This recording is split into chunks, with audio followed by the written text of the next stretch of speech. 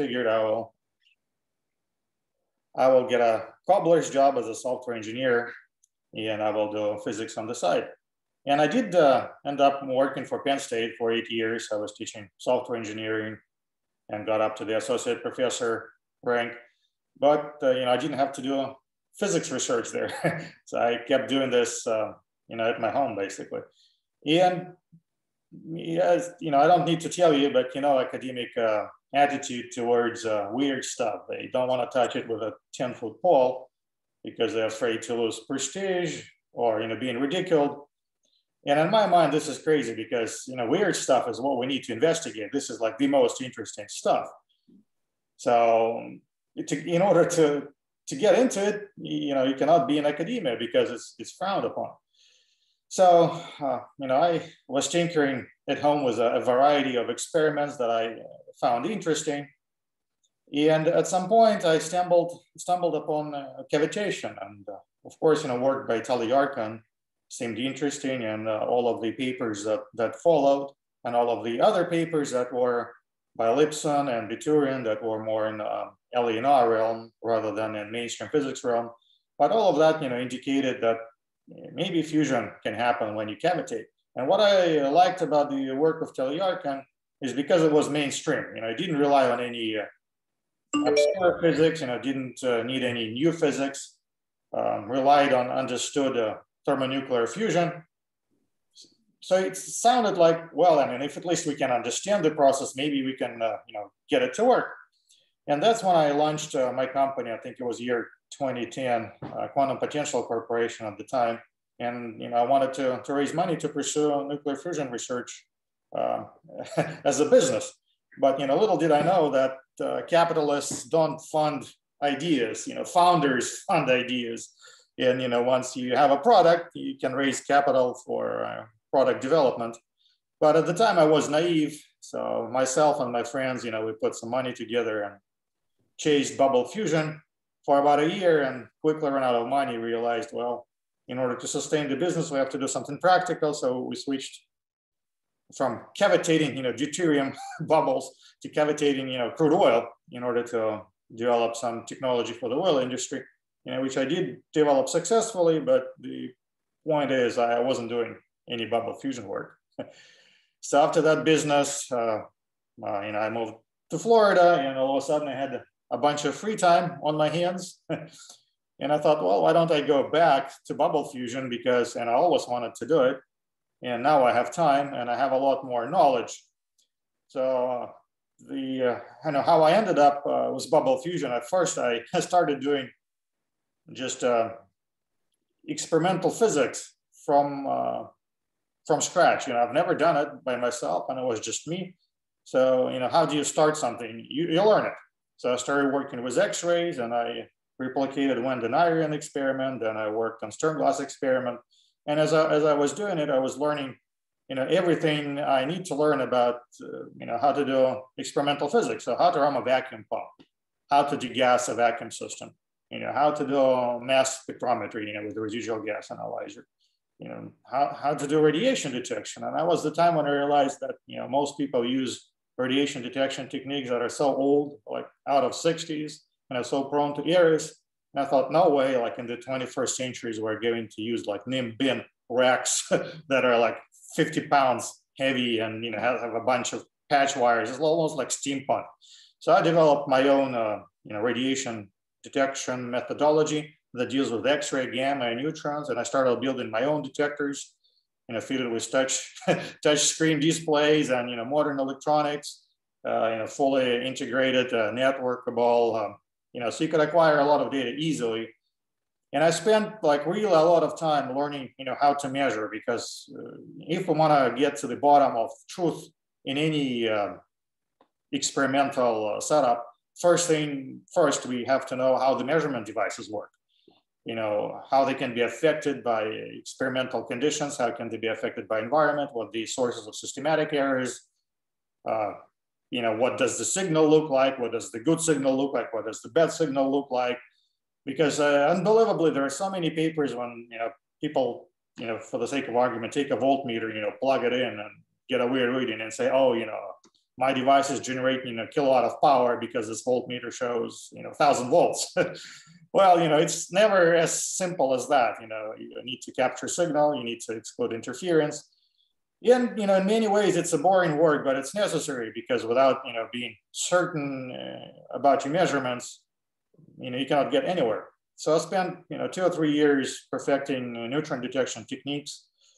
And I realized that when I was doing bubble fusion back then, you know, 10 years ago, I, it was completely wrong because I knew nothing about neutron detection. I relied on third-party advice.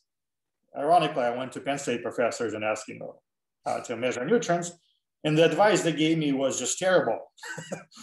so, you know, the point is in order to, to succeed, you kind of need to know all the steps of the process, right? If you build a reactor, you need to know about radiation detection, you need to know about vacuum systems, you need to know about the thermonuclear processes. So if you know all the steps, then there is some hopes that you know, if you oversee the project, you can make sure that every step is done right.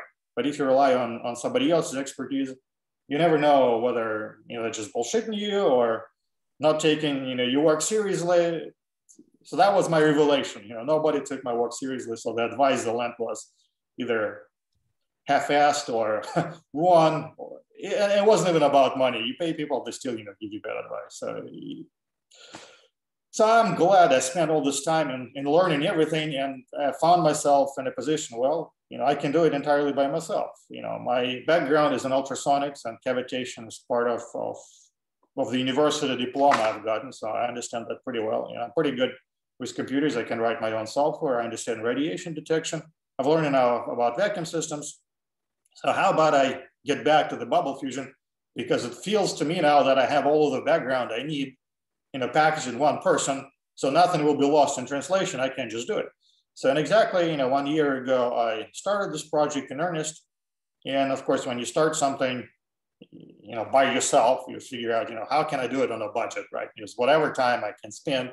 So I got and bought all of the all, all of, of the shelf components. I figured there is no need to commission any complex engineering, you know, to anybody, you know, spend hundreds of thousand dollars on complex machinery, complex computations. How, how about I just buy, you know, an off the shelf like Branson Sonifier, like you see here. And thank God for eBay because you know, everything is cheap on eBay. You can buy amazing equipment. And, and another thing I learned is, you know, if you, if you invest a little bit of time on learning how equipment works, you can fix a lot of it. So something worth $100,000, no way, you know, an independent researcher can afford it, not easily anyway. So you buy something, you know, for thousand bucks that's broken, but because you know how it works, you can fix it. So that's how I was able, you know, to put, you know, millions of dollars of scientific equipment uh, for, you know, one one percent of their real value is because you know, buy stuff, I fix it. And you know, granted, occasionally you need to call in, you know, the company that made it and say, hey, you know, I need a technician. And, and, and you have to pay, you know, a pretty penny for it, but, you know, the technician comes in and they calibrate your system and still, you know, for a price of technician, you get a hundred thousand dollar system like the one I have here for measuring, you know, bubble size distributions. It's a Sympatec Helos laser that shoots a laser beam through the uh, fluid and can tell you the bubble size down to 100 nanometer range. So that's, you know, I'm immensely proud by, by being able to fix that system and get it calibrated to factory spec, you know, I didn't spend 100,000 on it. So the point is, you know, I had all of the experience I wanted, and I, you know, got all of the shelf off the shelf components and some fixed. Uh, you know, some had technicians fix, and started putting a system together without really. Uh, oh, you know, I need to start out a plan. I had an overall plan. I didn't have a detailed plan because you know the experience shows when you start, no matter how much time you put into thinking, and there is something that you discover that you haven't thought of. So I started with a very simple setup yeah, it's still, you can kind of see it here. So this is a Branson Sonifier sealed atmospheric chamber with a horn mounted on it, you know, connected to the power supply. So when you energize it, it produces a massive cavitation, you know, like uh, ear piercing cavitation. So I thought, okay, well, I'll, I'll try uh, cavitating oil. So my idea was I will take oil, low vapor pressure oil, I will mix it with deuterium to create deuterium bubbles, and I will cavitate it as hard as I, as I could and see if, uh, because there are a bunch of bubbles, maybe some of them will collapse, you know, in just the right way and give me thermonuclear fusion reactions. So to detect neutrons, I've uh, put together a bank of neutron detectors. So these are old uh, Soviet, you know, helium-3 tubes, you know, that I buy in mass quantities because a lot of them don't work.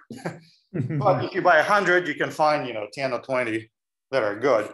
And because I'm expert in neutron detection, I was able to calibrate them, you know, make sure they produce the proper signal. And that's a lot of them. You know, most researchers would have one. You know, I have 20. So my sensitivity is 20 times. And then, you know, I could use borax, like you see here, and you can shield uh, environmental neutrons. So environment is full of neutrons that nobody really knows where they come from. So the theory is they originate in cosmic rays. Maybe, maybe so, but the funny thing is that flux is not uniform. And even though you register on average like five neutrons per minute with a typical tube, it could be one, it could be 10, it could be 20. So depending on what you know Cosmos is doing, you can have like weird spikes. And that's another like pitfall a lot of people fall into. They do something, they stick a neutron detector and they register this signal. And they say, oh, you know, something happened.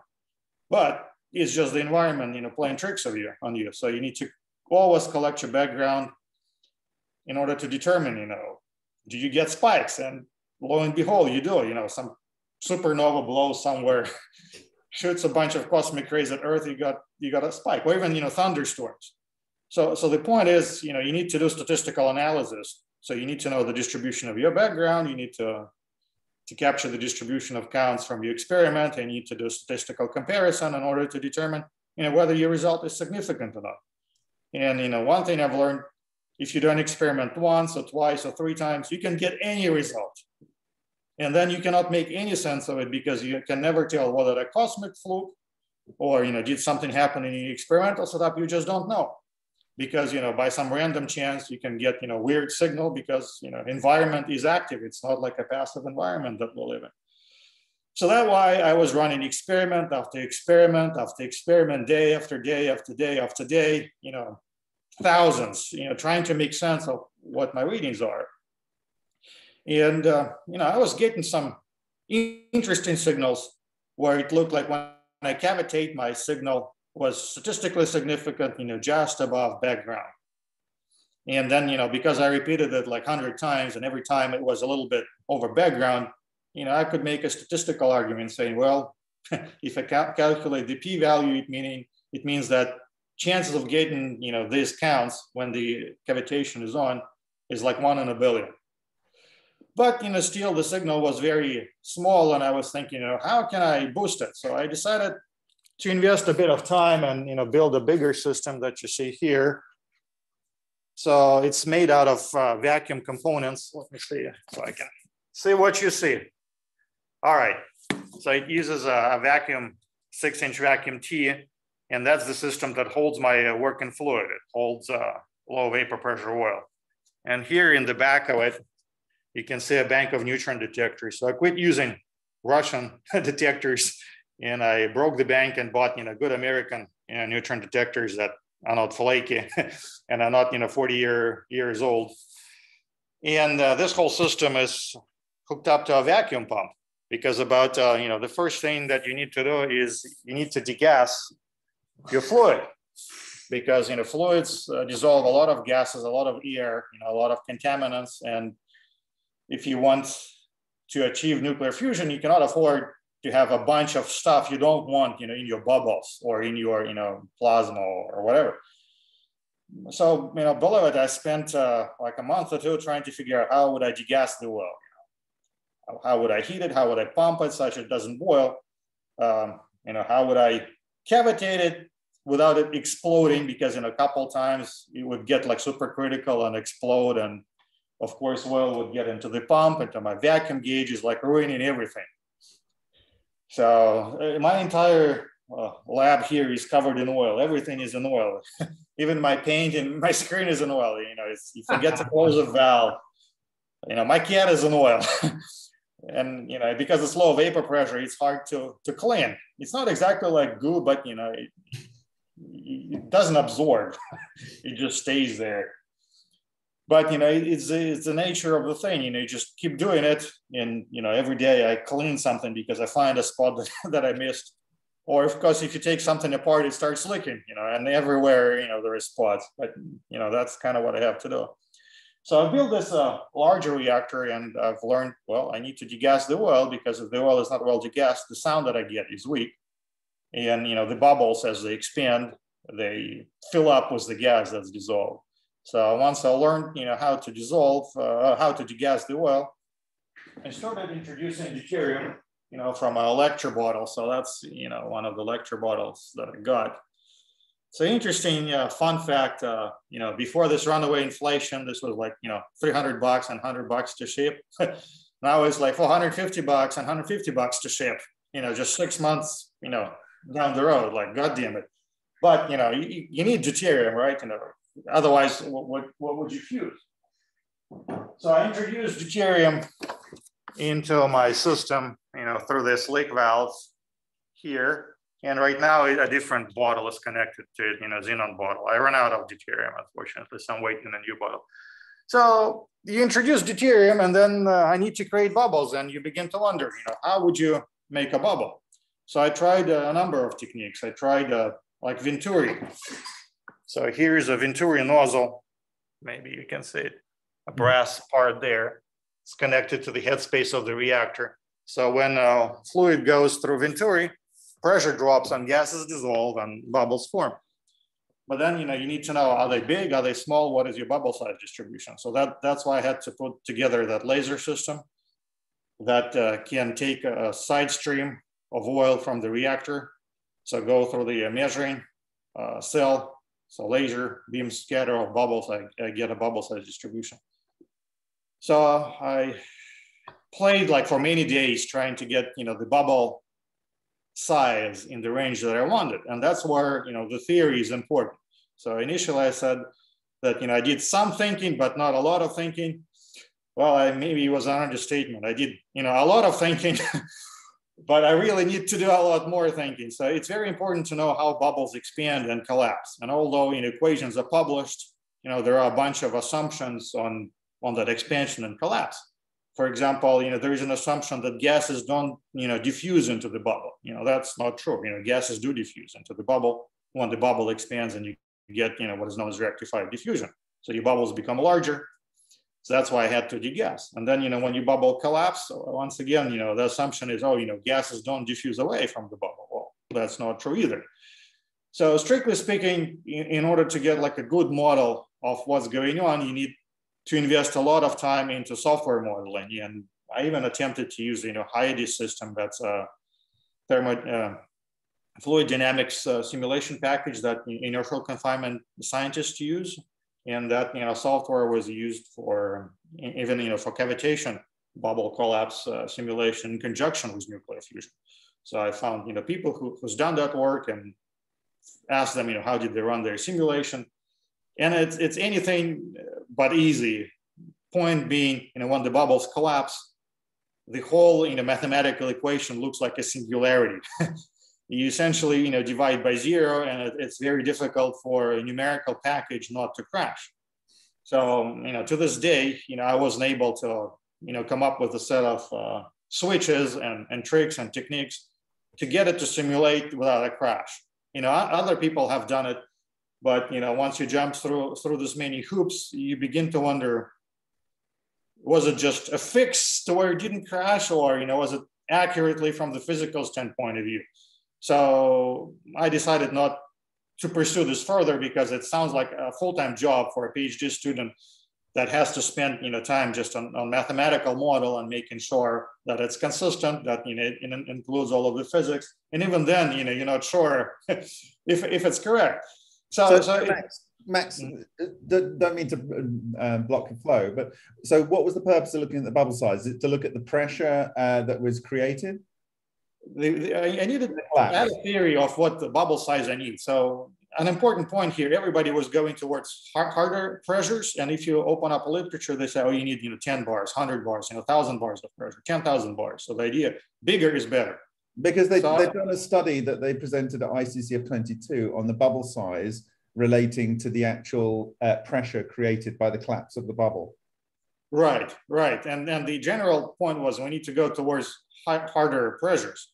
And I decided to do the contrary. I decided to go towards lower pressures and smaller bubbles because if you have a very small, like 100 nanometer bubble, when it expands, uh, you, know, you can, can expand it to a millimeter size. And inside that bubble, what you get is essentially high grade vacuum.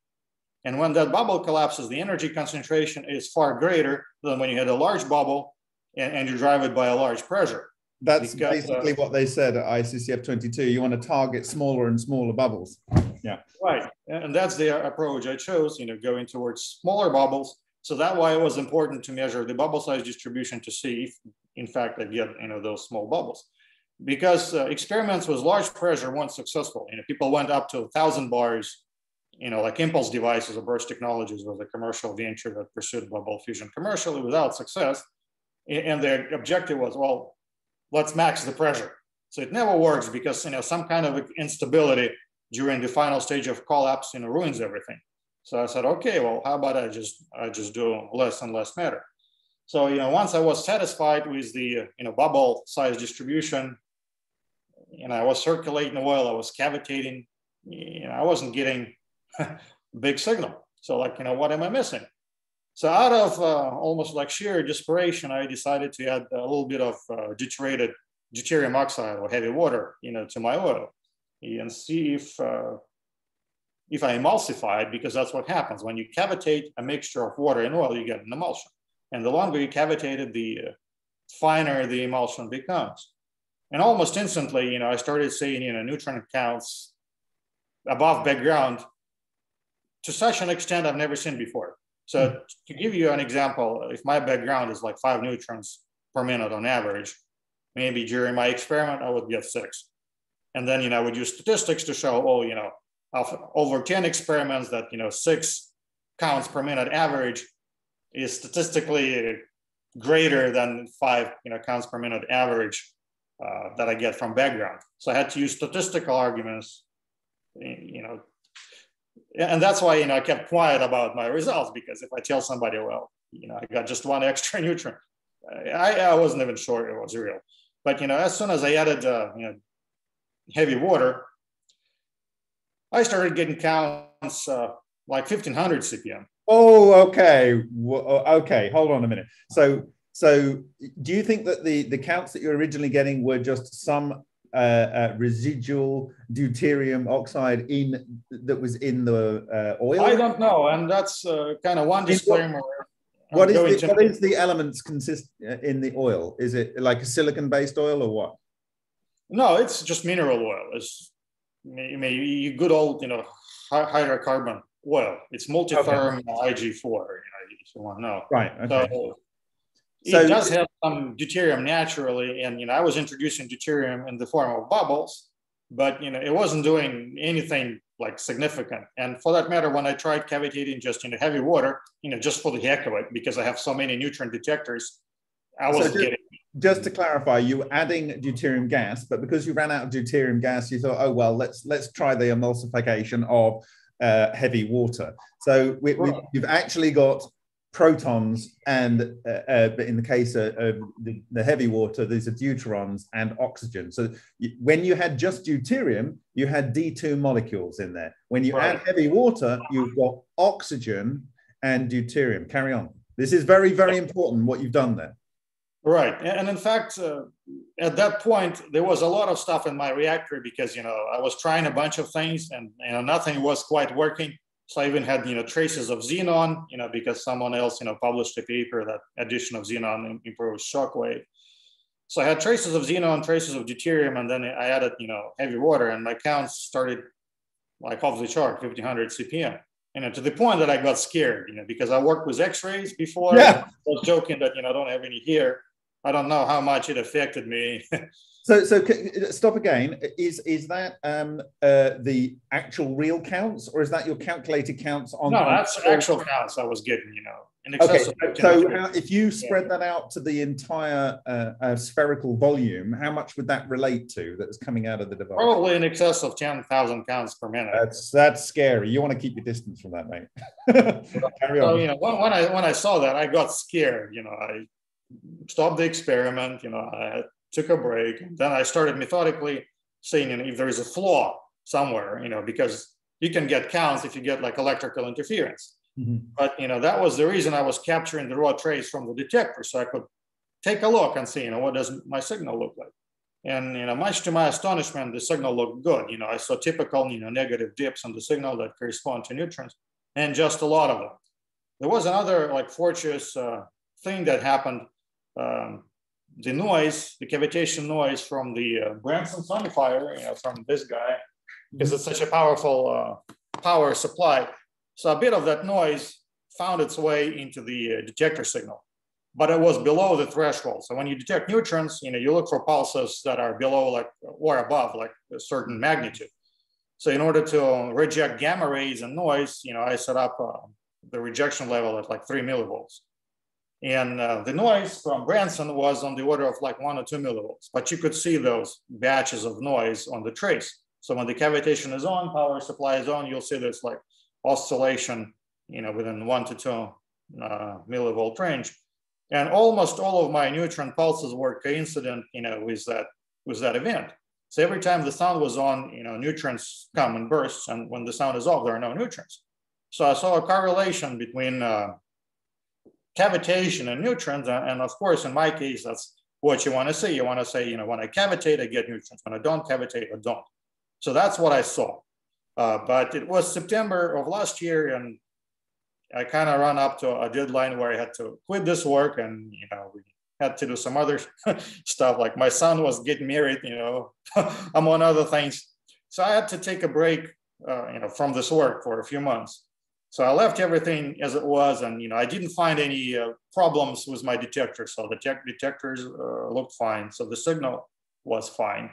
Uh, I wasn't electrical interference, the detectors worked properly, you know, they responded to my calibration source properly.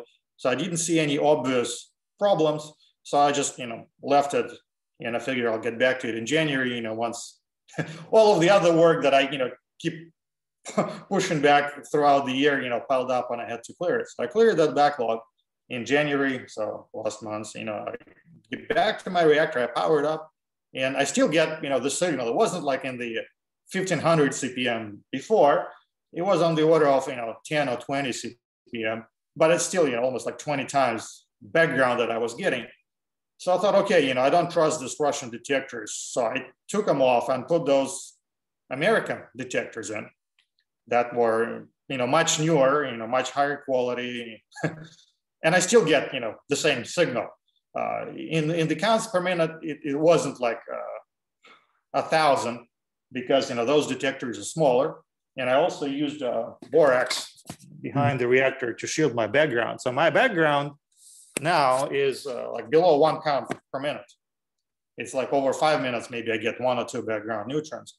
And to make sure that's the case, I ran like for 24 hours and I've never seen more than three counts per minute out of that detector bank, no matter how, how long I run it on the background. But when I fire up, you know, the reactor, I get, you know, 20 or 30 counts per minute. So, you know, 10 times uh, above the background. So that gave me, you know, gradually gave me confidence that, you know, the signal I see is real. And I thought, well, maybe vibration affects the detector somehow. So I used some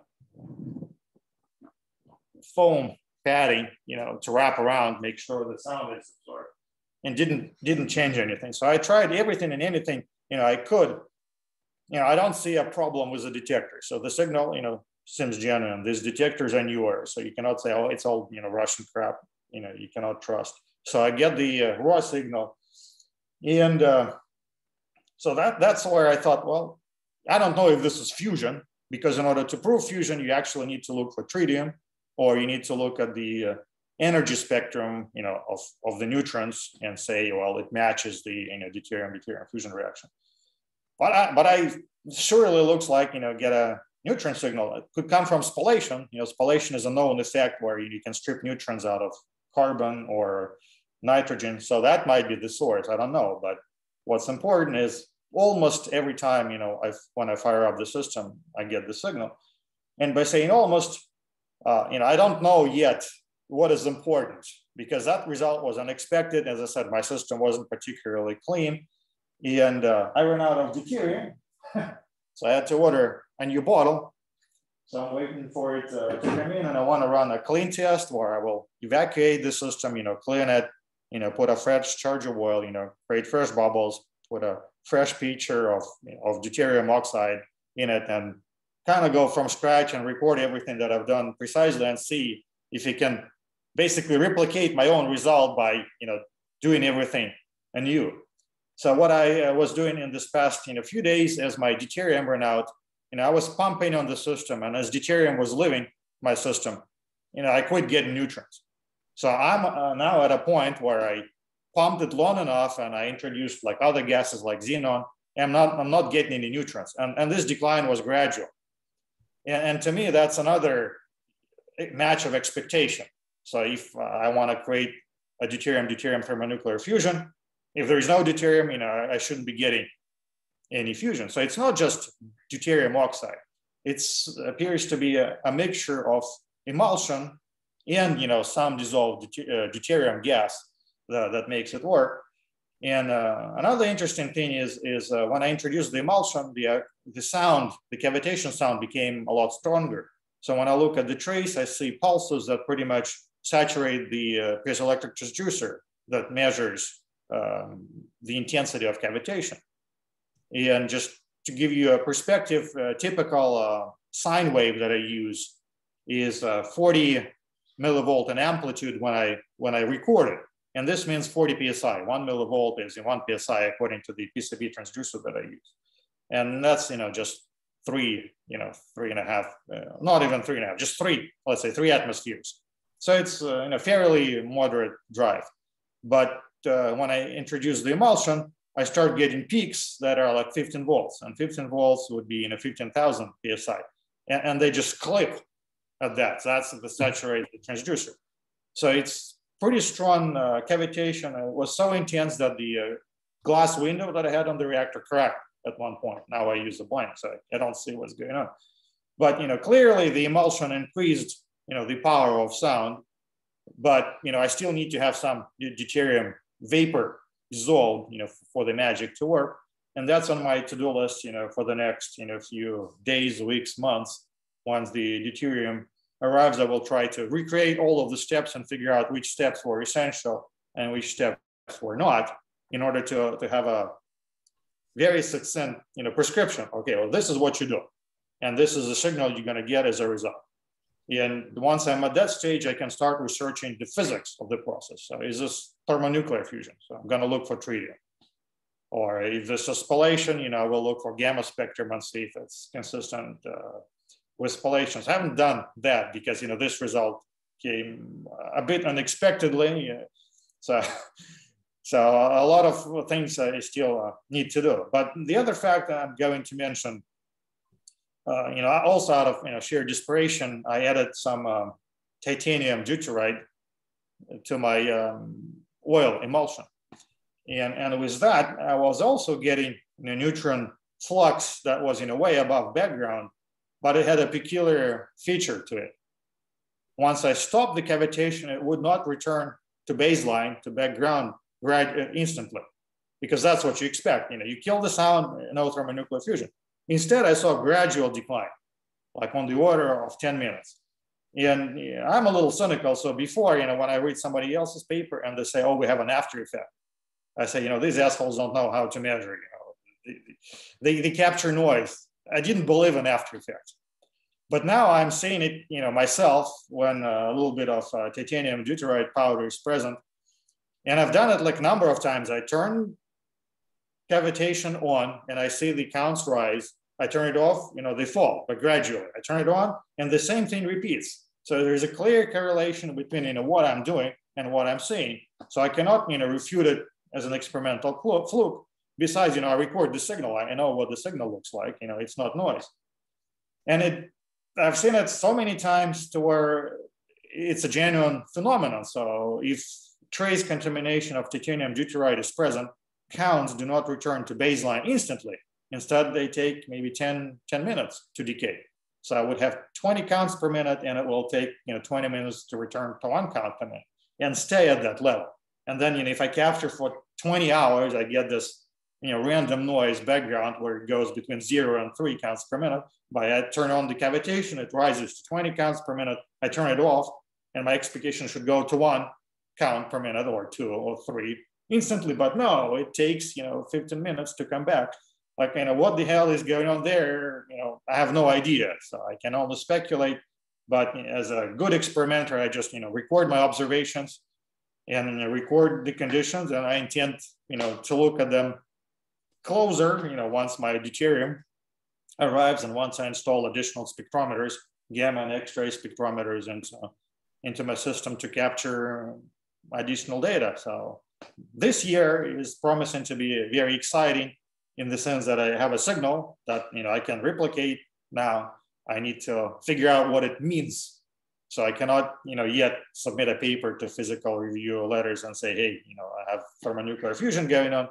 The best I can say, I have a signal, a neutron signal that's coincident with cavitation, and I need to work more on it in order to determine, you know, what's the origin of it.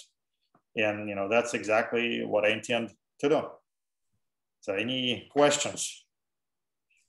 Uh, well, uh, I, I, have a lot of comments uh, and, and directional things that I can offer you, but I'm, I'm going to go and get something that's over there. And I will encourage people first in the room uh, to maybe ask Max uh, or, or uh, have a conversation with Max. And then I'll come in with my comments and, and maybe some potential directions from my experience where I think you can go. Okay, so uh, fire away. If you want to raise your hand, if you go down to the bottom, there's an option to say reactions, and then you can say raise hand, and I can then invite you in to speak. So if anyone wants to ask questions.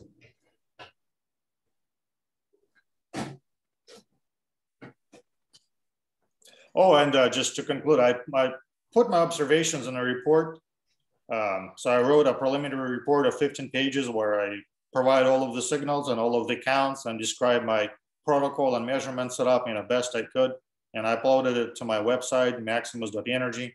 There is a blog post there, says bubble fusion uh, neutrons detected, you know, question marks. And there is a link to that PDF report that contains all of the, you know, details that, you know, I haven't included. And uh, of course, I'm interested in, in hearing, you know, feedback and criticism, or maybe I missed this or that, or maybe I should do this on that. And that report also outlines my next steps. So I, you know, I read it myself. I, I see where my weaknesses are. So I said, okay, well, this is what I need to do next. And this is what I'm going to do, just haven't gotten to it. So does anyone uh, want to ask Max any questions? Anyone? Okay, oh, I've got one from Anders Herford. Uh, what is the address of Max's website? So can you put yeah, that that's what I'm trying to do. So here is the uh, picture of the blog spot uh, blog post with the link to the report. So can you all see it? Uh, yes, I can see it. It's, it's to everyone. So there's a link there. And I, I will post that on the blog as well uh, when I broadcast and, and re-upload this yeah. video later. a direct link to the report. Okay, so and then uh, we've got Curtis E. Brecken. He says regarding the emulsion of mineral oil and deuterium oxide, is the mixture mainly mineral oil with the deuterium? Uh, yes, yes, in the mineral oil. Rough, uh, and that's one other thing to do. I need to start measuring, you know, how much oil and emulsion I'm admitting, but that uh, reactor holds about you know a quart, maybe two quarts of uh, multitherm IG4 oil, and maybe I added an ounce of um, heavy water. And I'll show you on the bottle.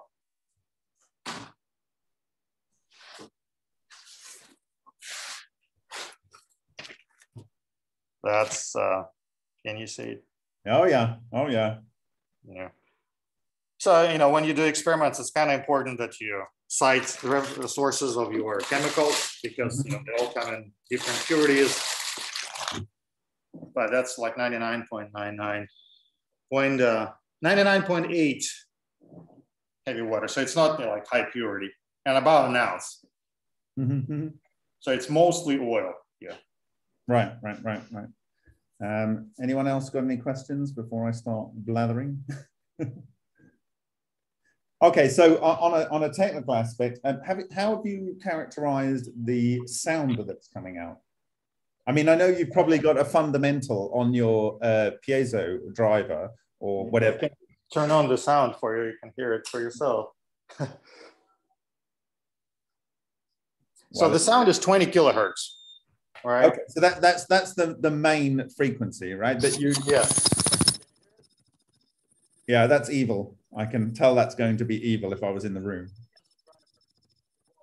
That reactor. Right. I, we can't hear anything at all because the sound is so loud. so uh, what I'd recommend you do if you haven't got this or maybe build yourself because I know you're very competent um, is uh, get hold of one of these. Um, so maybe I, I, highlight myself here. Um, how do I do that? Uh, maybe I can do that. There, okay. So this is an Ultramic. It's made from a guy in uh, Italy, and I think it's Ultramic. Uh, it's from Dodotronic, uh, like so, Dodotronic. And this is 384 kilohertz, and it has uh, settings in there where you it's just a, USB device. And uh, I have uh, software that they have or you can you can download a software that can record at 384 kilohertz on an Android device because I know you like to use that sort of thing. Mm-hmm. Um, and obviously, uh, you can you can analyze frequencies up to half of that, 192 kilohertz. But this will give you a better understanding uh, of what the modes are, particularly when you're adding gas and water and different levels of water in the emulsification at different stages in the process. So uh, you can maybe add that bit into your data. Uh, um, let, let, me respond to that. I do have a piezoelectric transducer inside my uh, reactor right now. So mm -hmm. that's the uh, lead and the transducer is suspended inside with an oil and it's PCB mm -hmm. and it's high frequency. So that's the preamp. And then I log the signal on this uh, tablet. So I uh, get a you know, pretty good idea of what my signal looks like by measuring uh, acoustics directly within the oil. Okay, is, is that just the intensity of the sound or are you getting the spectrum? I can get everything, you know, both the intensity, so I get a time plot and I can get spectrum. Uh, and I'm thinking I probably need to deploy more than one because sound within the reactor is not uniform. Because mm -hmm. when I had the glass window, I could see that there was a standing wave that yeah. had nodes and antinodes. So right now the transducer is in random random position. So I right. don't know the sound that it's picking up is uh, you know representative or not. So I'm trying to figure out how to you know position it so I can you know capture a good like 3D make a 3D map of what the sound is like. But uh, fortunately, it's a high frequency transducer, so I can get you know the intimate detail of the sound. And I did put some traces in the report that you know show that you know massive peaks that you know develop sometimes. But uh, if the oil is well degassed, all you get is a sine wave. And that's what you kind of expect, you know. Right. But yeah, once you start yeah. getting cavitation, you can see cavitation noise. And, uh, you know, once I started adding the emulsion, you know, I see these massive spikes that saturate the transducer, you know, that broke the glass. The viewport glass. Yeah, I got a new viewport, you know, just to show you. So that's the viewport that I I yeah. got a replacement one. So I had uh, one exactly like it, and the glass broke because the cavitation was so intense. And I've never, you know, seen that happen before, but it did happen, you know, once I added the emulsion. So maybe the effect of emulsion is not so much that the fact that it's a D2O emulsion, maybe it's just, you know, needs to create, you know, powerful sound wave and need to have this trace amount of deuterium to do the job. But go on. So, I mean, uh, um, what we find uh, with the very simple ultra experiments we do using a, a $35 um, domestic cleaner, ultrasonic cleaner, is that the, the amount of water volume in there greatly changes the sound response uh, uh because you're changing the resonant modes that are interacting with the structure of the reactor as well. And you may you may find that your reactor changes its capability just because you have one of your boxes of borax touching it. And so right. the modes completely change in there. And it's, it's all about cymatics. It, it, it, you have it's like a lot of people know cymatics in a in a 2D volume, but they don't think about it necessarily in a 3D volume. And so yep. just having a slightly lower level of oil in there or, or oil water emulsion or the actual fact that there's more bubbles in there will change the the resonant modes in there. So um, it's a lot more complicated. I don't know whether you can maybe look through that window with some sort of scanning laser and and, yeah. and pulse it and get a, get a 3D picture because in the ultra experiment, some some people have done this where they've got the water, a water column with an ultrasonic like cleaner horn and they put it in the top of the column. Uh, uh, so a, a, guy in Holland has, has done this, and you can actually see these structures within the water volume which are doing the coherence uh, and so um, and where the, the most intense energy is, is put. So um, what's your plans with with trying to map out what's going on in the, the volume of the fluid? Yeah i mean i really like your suggestion. I'm also thinking about you know deploying a camera so i could see what the hell is going on there at more or less decent resolution. Because you know you're right. There are so many factors uh, affected and right now i'm not controlling it or measuring it um, so your advice is valuable in this regard if, if I mean, any other ideas come later you know should because i am kind of struggling yeah that's fine so we can talk this through so um, when when uh, we, we're putting the aluminium foil or the other foil in there you can immediately see where the nodes and the antinodes are. And all of the action, all of the transmutation happens in those figure of eight structures, these yin yang structures. But if you don't put the metal in there, sometimes you see these things spontaneously form within the 3D volume. I believe that this is where it, it's going on. So, mm-hmm. um, uh, and so if you look at the work of Stringham, who's probably one of the most experienced people right. in the field, uh, he found that if you use low frequency, you are getting all of the effects, right? But you get le less nodes and antinodes. It, it, they went to 1.7 megahertz from either 20 something uh, kilohertz or 40 something kilohertz. And you get obviously vastly more of the resonant nodes. And because it's resonant, sooner or later, they're going to get to the level of intensity where the action takes place. And so uh, when you're, and, and I wouldn't even worry about working at 20 kilohertz because it's probably safer to parameterize everything at that level and then look at how it scales up because you're going to get less action maybe um, with uh, but the energy concentration is more. So uh, in in uh, mars's vibrator plates he's only vibrating those things at 169 hertz uh, and, but on there, you are getting resonant modes, but because they're resonant, they're then creating cavitation, and then you're picking up the ultrasonics from the ca cavitation bubbles and the vibrations that they put out, which may actually be influencing the process beyond that, because you've got the cavitation sound adding on to the sound of, of the uh, uh, input vibration as well. And it's whether the two are interacting to produce the overall effect. So it, it is much more complicated, but sound, in my view, is probably the simplest way to achieve these kind of transmutation or fusion or whatever is going on. Okay, so now you spoke right at the beginning of the presentation about Taleyarkhan. Now, did am I right in saying that he did some uh, uh, work in the U.S. naval labs and and they actually observed radiation there? Well, uh, here's what I know. He started at Oak Ridge, and so this right. is where he got his first results and frankly, his colleagues, so he, he left Oak Ridge and went to work for Purdue, but his colleagues at Oak Ridge didn't believe his results. So they were one of the detractors. and when BBC got involved and gave money to Putterman to replicate Taleyarkhan's work, uh, you know, Putterman was not able uh, to replicate it. And Taleyarkhan said, well, that you know, replication wasn't accurate and maybe that may be true. But what is really disconcerting is uh, when Ross Tessien started uh, Impulse Devices, he invited Taleyarkhan to replicate his work at Impulse Devices, and Taleyarkhan couldn't. So he traveled to California and you know built the setup, and they worked in, in earnest together. And despite that, you know they couldn't replicate. You know, Taleyarkhan couldn't replicate his own results at uh, you know in California you know, despite money being available and, and him wanting to do that, and, and this company formed to commercially uh, pursue mobile fusion. So, you know, either he didn't know something or his results weren't genuine. It's, uh, you know, the jury's out there. It's, so, uh, what, what are the results that from his original work that you understood that inspired you? Well, I mean, I believed his uh, original results because I understood the uh, concept. So if you have a bubble and you drive it you know hard enough, it will fuse. I mean, everybody agrees with that. So the devil is in the detail, and precisely, uh, you know, the, the the there are two things that will kill it, or you know, more than two things. You know, one diffusion of gas in and out of bubble. So when you model collapse, you, you assume well, amount of gas is the same, but it's not.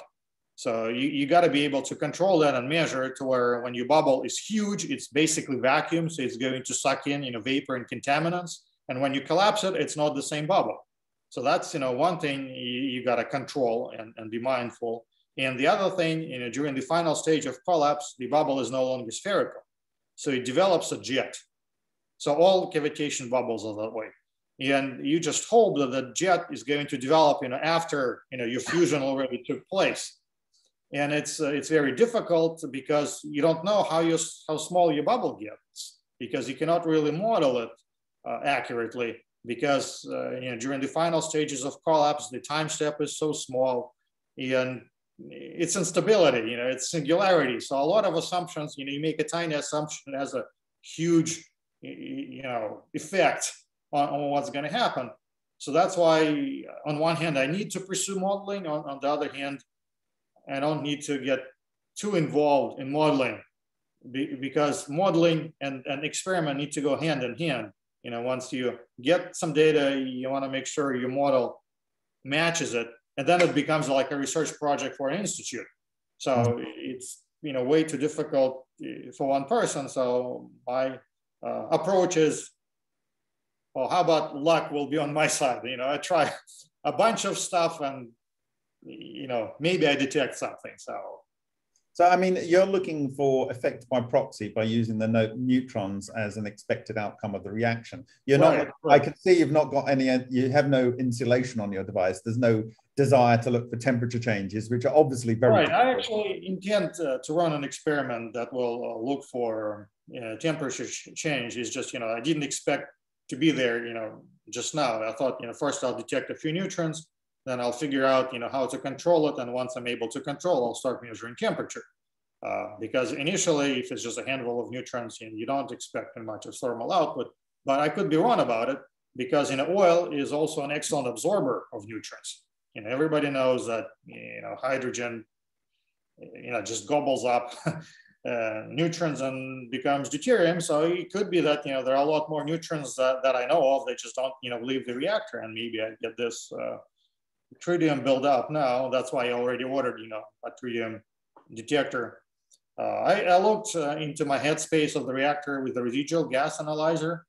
Uh, before I got neutrons, you know, I didn't see uh, tritium back then, but you know, gas analyzer is not necessarily as sensitive as a dedicated, you know, tritium detector would be. And besides, I need to look at it now, you know, once I started getting neutrons. So, you know, but you're right. You know, I was primarily uh, looking at neutrons, and I need to start looking at thermal component of it too. So uh, have you instrument my turn a little bit better. Have, it's it, now what we're finding with um, uh, our, uh, ultra experiments is that we're observing the production of carbon, uh, silicon, and iron predominantly, uh, as well as other elements. Now I'm wondering um, you're, you're not doing bubble fusion where you have a spherical chamber and you're trying to focus all the energy into the center spot. You're not trying to do star in a jar, are you?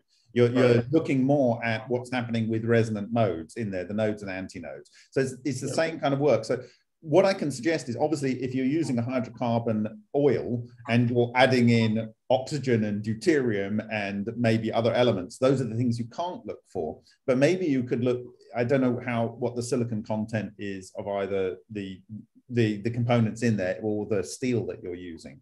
But yeah, which go on. Actually reminds me of my earlier work that I've done when I had a big uh, machine, a 100 horsepower cavitation machine that, that had a rotor and stator.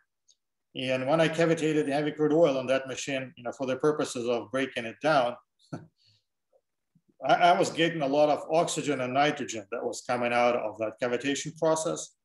It was blowing my mind. Like I would fill up the machine with oil that was, you know, purely hydrocarbon, mm-hmm. not even sulfur in it. And of course, you know, we did the analysis, so I knew what the composition of oil was. Mm-hmm. And the machine was evacuated and it was topped off to where there was no headspace. Mm-hmm. And you know, after the machine runs, so it was just not even a closed loop. It was just a stator filled with oil, maybe like a, a gallon, gallon of oil. uh, no headspace. So you seal it, you know, you run it. Of course, it gets very hot, and then it would start outgassing, outgassing like crazy. And if you put it in a pitcher, you know, bubbles would it would bubble in a bubble like champagne. So we send it to analysis, and they say, oh, it's uh, oxygen and nitrogen is coming out. So I thought, well, maybe somehow the machine is sucking in air, although it was unfathomable. So the machine was developing pressure on, on inside. So how would you suck atmospheric air against like the tremendous pressure inside? It just doesn't make sense, right? No, I, I, I, talked about this before. I think it's the CNO cycle. So you're just adding protons. Yeah, that's what I thought. So just, just to make a clean experiment, you know, we built a, a box around the machine and we flooded it with argon. So mm-hmm. I thought if it sucks in air somehow through the seal on the shaft, and we would see that argon. But you know, once we send samples to analysis, it was still you know oxygen and, and carbon, like you know what no, oxygen and nitrogen. Yeah. Yeah, oxygen and nitrogen. Yes. So the, the thing about the CNO cycle, you should also see some helium production. Did you look for that? I don't think so, uh, because That's you know when you put an analysis, you know, they, they actually I will t- I will take a look. Maybe I still have those reports saved. I, I, remember I wrote like a paper about my observation and so well this is what I got. I don't know what it means, but you know for posterity, now that you mentioned. I mean, if, if, if you've got a if you've got a hydrocarbon, you have protons and you have carbon, and the the, the CNO cycle uses uh, four protons, and it, uh, the carbon twelve acts as a catalyst, and it goes around the cycle, and at the end you end up with twelve carbon, and you end up with yeah. one helium. Well, but in the process, you're synthesizing nitrogen and oxygen, which obviously are not part of the the hydrocarbon, so they come out and off gas. Well, let me uh, let a little secret out. So that machine you know, we made, made a, a copy of it back then. And the original machine was made out of carbon steel, you know, just ordinary, you know, carbon steel. And the new machine that we made was exact copy, but made out of stainless steel, you know, so no rust. And the stainless machine never worked. Come again? Say that again. The stainless machine never worked. But the what machine did? The carbon steel machine did. Right. So somehow, you know, the composition of steel uh, was important. Well, this this leads me on to my second comment about your current work. So uh, I I believe that that um, uh, either magnetic or paramagnetic elements play a very important role in all of these processes. And obviously, you may, because you're a native Russian speaker, you may be aware of a, a lot of the talk of uh, magnetic clusters, uh, strange radiation uh, is one, one name for them, that have this kind of mag magnetic behavior. Now, I, I was observing uh, uh things that led me to believe that the iron core of uh, the Lion reactor, like this one here, um, was playing an important role in aggregating these clusters in the same way that iron clip clippings were aggregating these clusters in the radiation remediation of Yull Brown, which again is using water gas. This is very, very important. Um, and uh, he used aluminium. And so uh, I believe that the aluminium is preferentially taking the oxygen, forming aluminium oxide. It leaves more protons available to the, the cluster uh, which is forming on the iron. And then when it goes through the Curie point of iron, they get released, form a macrocluster, which captures the radioactive material. That does electronuclear collapse and instantaneously remediates the nuclear waste. And so what he observed uh, um, is, is a process which has a, an easy explanation when you understand uh, uh, what's going on. And I believe this is what's going on in ultra experiments. And I believe oxygen is very important. And I was going through the literature, and one of the first data points for this was the work of Bockris and Sundaresan in uh, their um, carbon arc experiments. So they've got carbon and they've got them underwater. So they've got H2O and carbon. And they only got the synthesis of iron when they had dissolved oxygen in the water. They I only replicated that experiment. Sorry? I actually replicated that experiment. And you saw the uh, production of iron? Oh, yeah, I saw production of magnetic particles. That's where I left. Okay. Yeah, okay. So you didn't actually determine it to be iron. Now, the thing is, what they did is they degassed in a different way to you. They boiled the water and they in one case they put nitrogen in and in one another case they put oxygen in. And in the case of the nitrogen they saw zero synthesis of iron whatsoever. No none at all okay? Um, and in in the the uh, one where they have dissolved oxygen uh, they saw the synthesis of iron. And this, this got me this got me thinking that the most important thing with cavitation, with HHO, with all forms of oxyhydrogen gases, the oxygen, and that's why I got excited when, uh, for the very first time in this live chat, I heard you mention you've got a very significant difference. Now, my hypothesis was this that oxygen is incredibly paramagnetic. I don't know if you know, but if you get liquid oxygen, it will hold itself between a horseshoe magnet because it's so paramagnetic. And if you look at the, the paramagnetic nature of elements in the periodic table that are paramagnetic, not ferromagnetic, but paramagnetic, the, the, oxygen is such an outlier. It's massively highly paramagnetic, and you have to go up into the lanthanides before you get uh, things that are equally as paramagnetic. Okay, so I believe oxygen is so important. And this is encouraging because you talked about thunderstorms and what do we have in the air? We have 20 something percent oxygen. So it can play the same role in ball lightning in the air as it's playing in Sundaresan's experiments, as it's playing in the LION reactors, as it's playing in so many other things. The oxygen is important. It was water, yeah. heavy water that was in here. It wasn't deuterium, it was heavy water. So it had oxygen by default. So late Kurtz had the same idea that oxygen was paramount. Sorry, who did? Late Stu Kurtz. He was uh, at Penn State and he worked with Randy Mills at some point. Okay, well, I I, I think uh, we can safely conclude that Bockris and Sundaresan found the importance of oxygen, but never gave a reason why. I believed it was because of the paramagnetic nature, and uh, I believe uh, um, it, uh, so. I'll come on to the fact that obviously titanium is paramagnetic. Aluminium is paramagnetic. These elements that a lot of people are finding are very highly active in LENR, like, for instance, one of the most paramagnetic elements is tungsten. And so there are many elements um, that are uh, seen to be very active that are paramagnetic, but oxygen is incredibly paramagnetic. Now, the interesting thing, and I'm going to give you specific guidance for your experiment with this understanding. Oxygen gets much, much, much more paramagnetic the colder you make it The colder you make it. The colder you make it, right? So if you've got oxygen gas down to liquid oxygen, it's much, much more paramagnetic. So rather than getting deuterium oxide, if you've got electro, and this is, so there's one specific experiment that I'd like you to do. Get an oxygen bottle and get deuterium, and then just run the deuterium, run that, see your, your neutron counts, blah, blah, blah. Then add oxygen mm-hmm. and then control the amount of oxygen, and then get a cryogenic cooler and cool your reactor and see if the neutrons go up.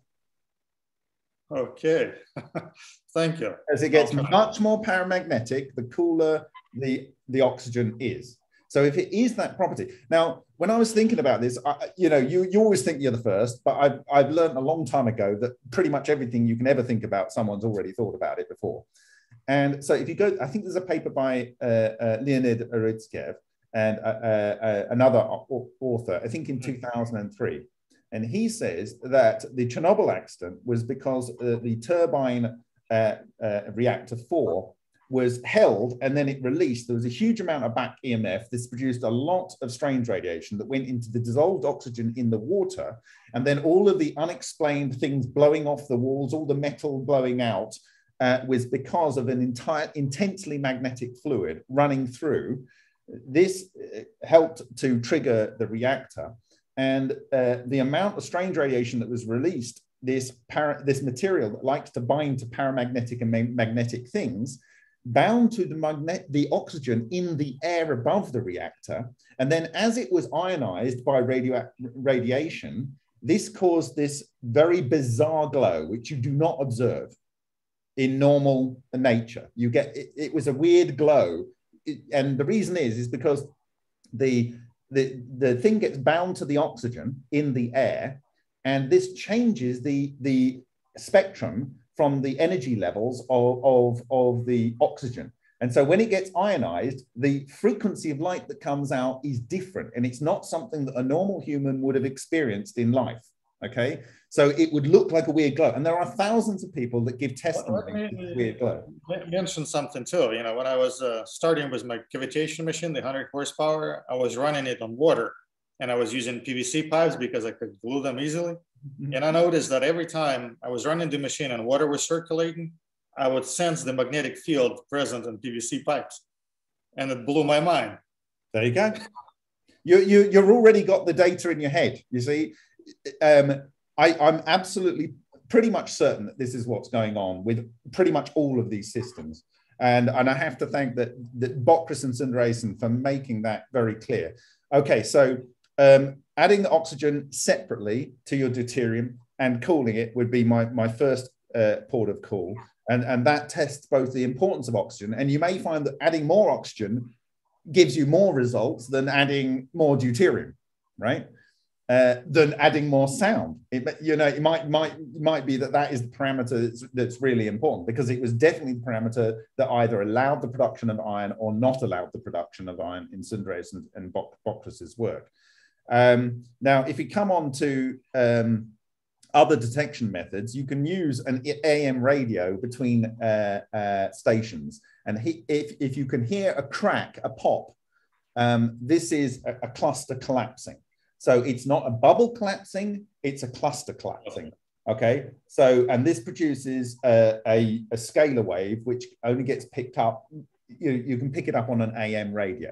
Okay, mm-hmm. now you could wire up an AM radio so that you're capturing any spikes uh, and see if there's any incident spikes with any uh, or, or, or time correlated with a with a phase offset uh, with any neutron production.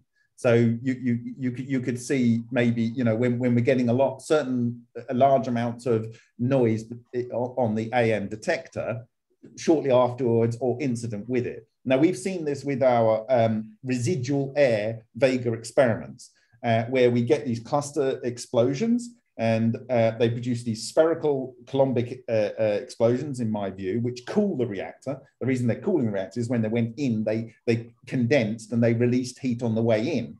And when they explode, the electrons come back to their uh, uh, normal electron state. They, they then coulombically ex uh, explode, but they've lost thermal energy in, in the previous condensation project process, just like steam does to, to water does to to ice, it has to go back. And so it has to grab thermal energy from the environment. This is cold electricity. And so, but the, when they return to normal electrons and they fly out, they are charged particles that are moving over a space. And so they produce an EMP. And so I, I would expect uh, it, when you've got it right, it, it, it would take some time. Uh, um, but uh, may, maybe you could detect some cross, cross correlation. We, we observed a flash on the video camera and in sync. We get uh, through a through a ion chamber we get a pulse uh, in sync with with the am radio. Um, so you know it's it's working in a bit of an odd way.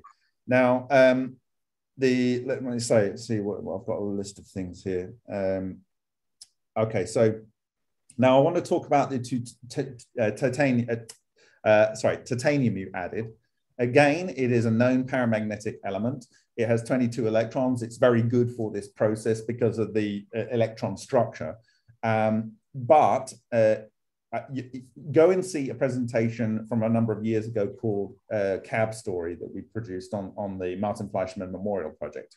When we were with um, uh, uh Professor Francesco Piantelli in Italy in January 2015, uh, he told us for the first time something which he was concerned about with people uh, when they are trying to replicate various low energy nuclear reaction experiments.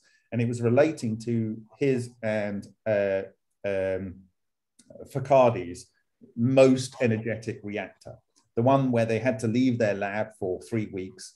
Uh, it, it, saturated all of their neutron detection uh, technology. It was the highest heat output by far. Um, and that is the rod that uh, there is a photo of uh, where it's, it's eaten a bit of area out and so on.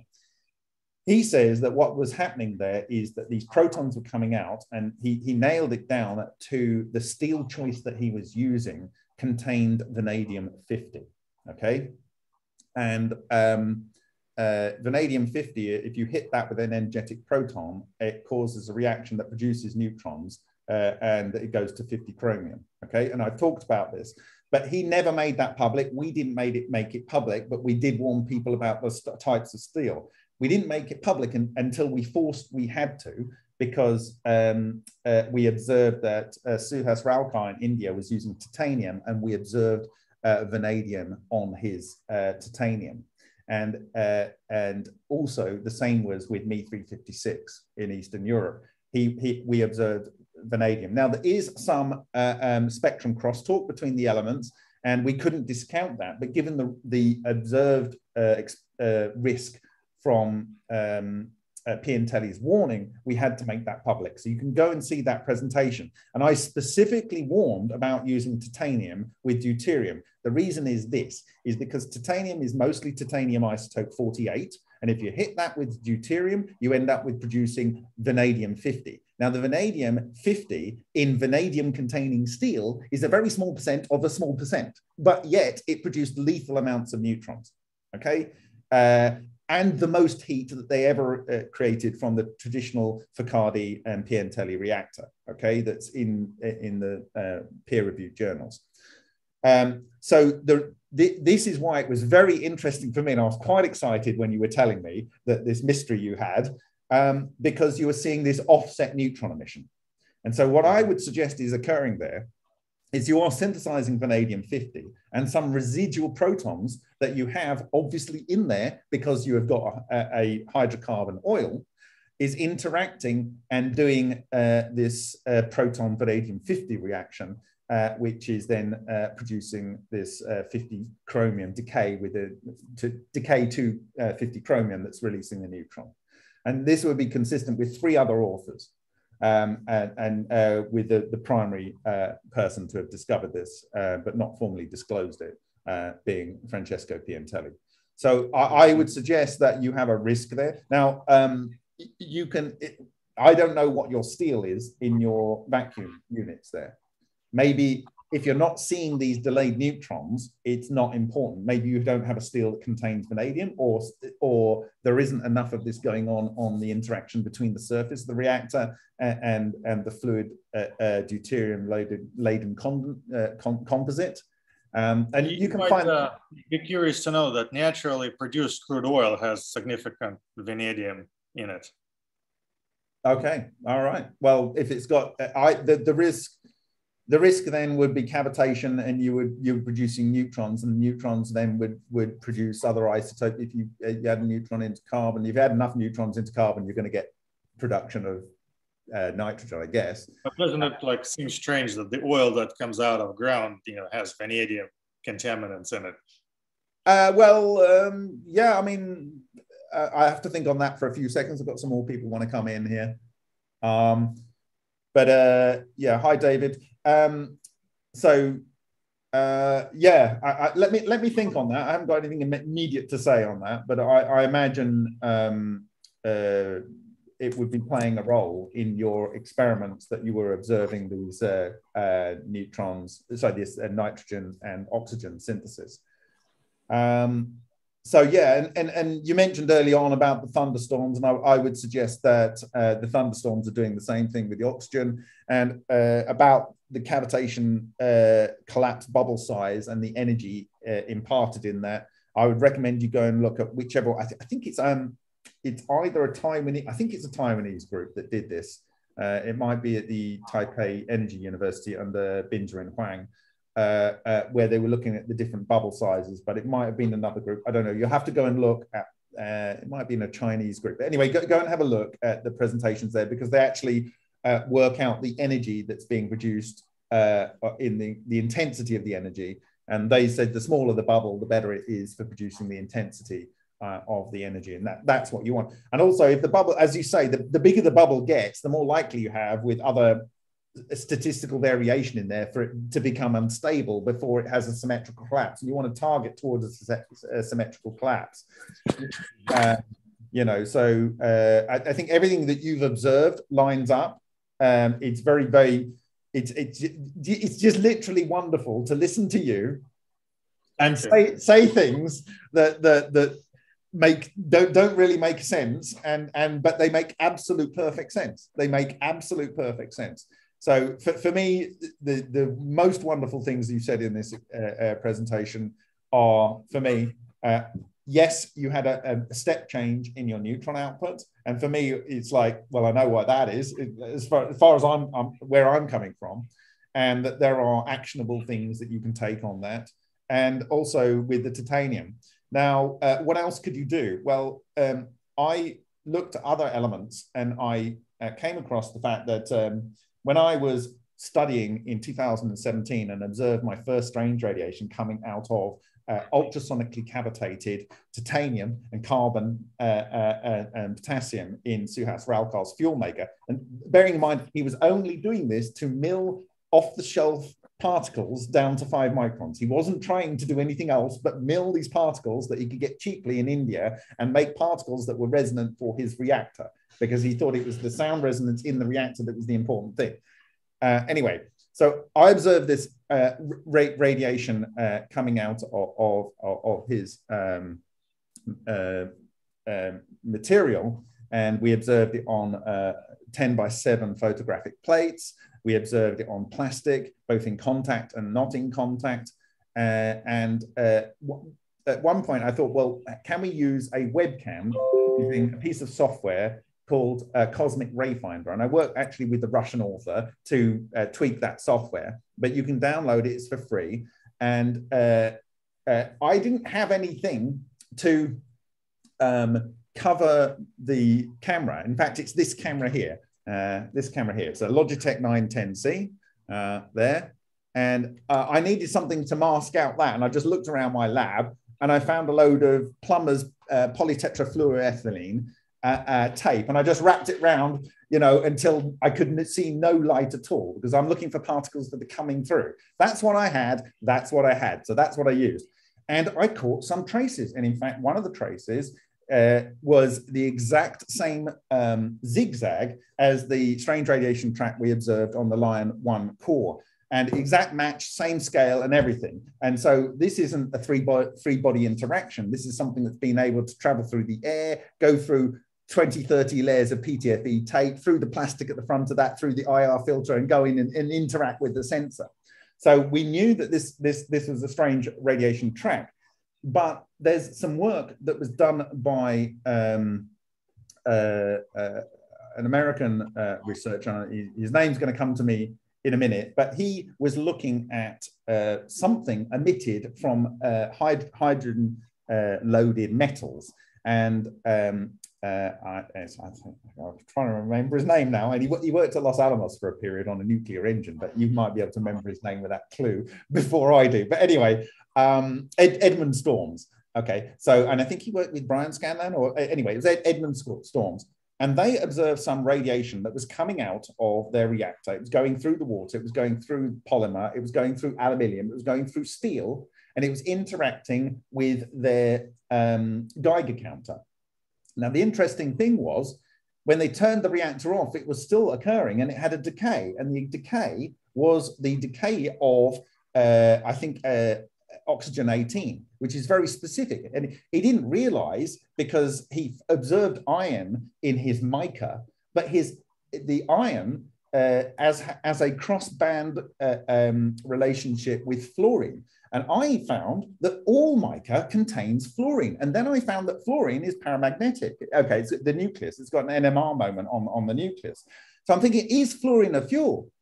Is fluorine interact with this radiation? And then maybe that's why this was excited when it went through there.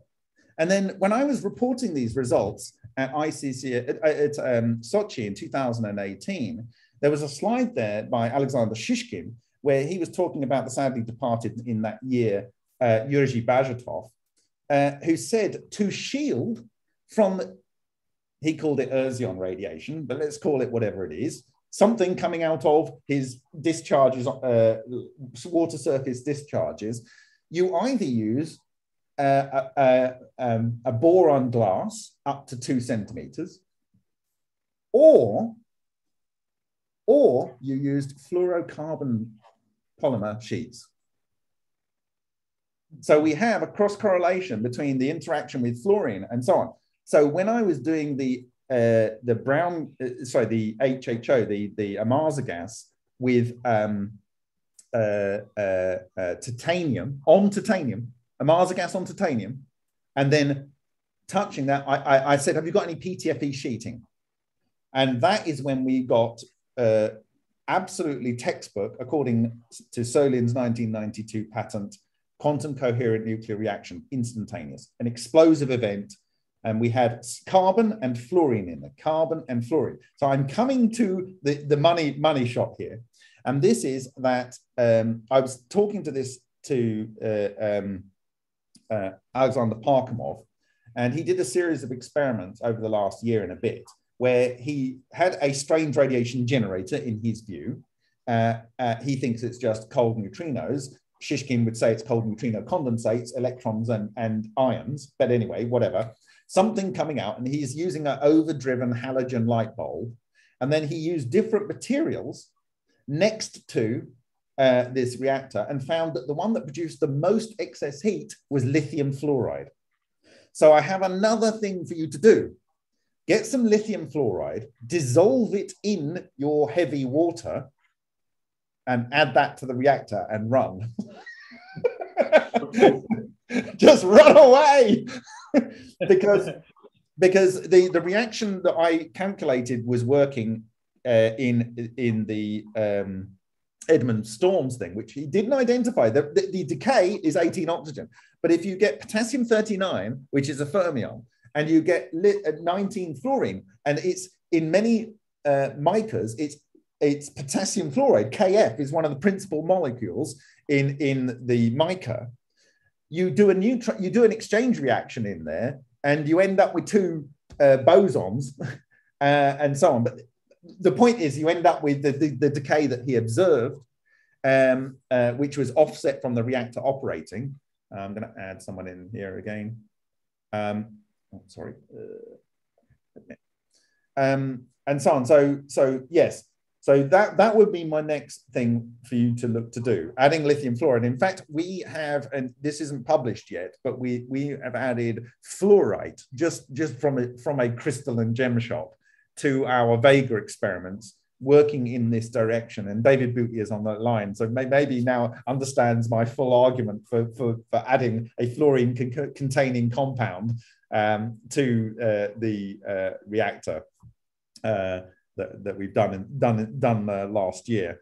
Um, uh, so it was interesting. We weren't looking for excess heat or, or, or, whatever. I was looking for something that would interact with the strange radiation in interesting ways. And in fact, uh, the fluorite in our experiments just exploded. um, now, why is it exploding? I don't know. But we do know that when you take titanium, you load it up with the hydrogen clusters from the Ohmasa gas and you put it onto PTFE, it exploded extremely violently. Um, uh, so this is what I'm saying: run. When you turn on your experiment, run because it might be deeply unpleasant what happens. So I'm giving you this based on a whole series of experience and experiments spanning a long period of time, right the way up to just a few weeks ago with Parkhomov's findings, where lithium fluoride produced the biggest result. Now, the idea is that the, the lithium, obviously, uh, it's a light element. Fluorine's pretty light there are, if you go to uh, um, uh, lenr-canr.org, there are other people in history uh, of LENR that have proposed fluorine as a good LENR fuel.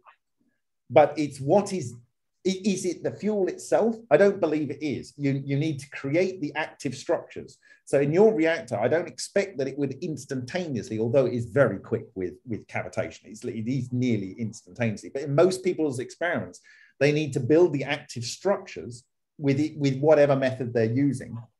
And then the active structures can then interact with material that they need to fuse or fission. Okay. And um, uh, it's these clusters, whatever they are. Uh, and uh, the thing is, cavitation just does it almost instantaneously. So you don't have to worry about that delay time. I mean, we're getting transmutation in, um, uh, what do you call it, in like uh, I don't know, 90 seconds or something in the in the cavitators we're doing. We're observable, but they are in there. Now, there's another thing. I don't know whether you can do this, but is there some way that you can introduce into the chamber a witness foil? And I would specifically suggest aluminium. you would need foil? A, a, witness foil. Yeah, but which one? I would suggest, uh, okay, so the reason for using copper is it doesn't really like to absorb uh, hydrogen, but it's very conductive. Okay. Mm. And, and Matsumoto is saying he chose copper for that reason is that you get on the surface uh, a, a, lot of protons, so you get the, the, the proton clusters forming. Um, we've observed very good results by using uh, on the cathode in an experiment, um, uh, in Vega experiments, uh, copper tubes. And we get the observed experimental uh, outcomes that were observed by Matsumoto.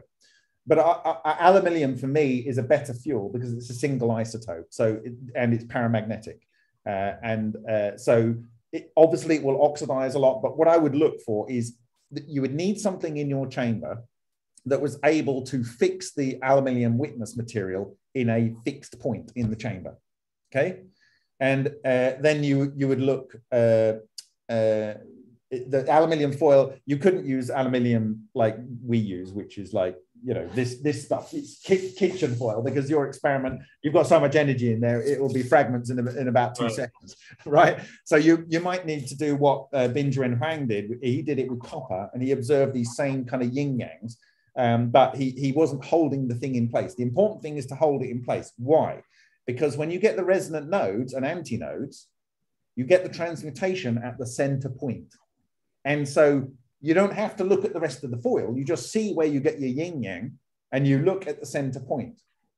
And then I would try it with light water and I would tie it with heavy water and see if you have a higher level of transmutation at the center points of the yin yangs uh, in one or other because what you're doing, I believe, will work with light water. And so this is my next thing that I'd suggest to you is to use add light water because I believe the oxygen is the important bit. You can make the clusters with heavy or light water. It's slightly, it's because it's not bosonic, the, the proton, it's not bosonic. It's harder to, to make the bosonic cluster, uh, but it will work. This has already been shown by Matsumoto, but he used uh, uh, electrical, uh, you know, discharges. So I, I would suggest using uh, uh, uh, light water as well. And I know it seems a bit counterintuitive. So we have oxygen on its own to add with your deuterium. So you can change that. Cooling the oxygen, uh, adding lithium fluoride. Um, uh, I, I would worry about your titanium results um, because of the historic history of, of the production of vanadium 50. You could you could consider adding vanadium um, I don't know, but I think titanium is better because you, the vanadium 50 is quite a, a, much lower concentration in vanadium than there is titanium 48. There's a very high proportion of titanium 48 in titanium. It's mo most of the uh, uh, element isotopes.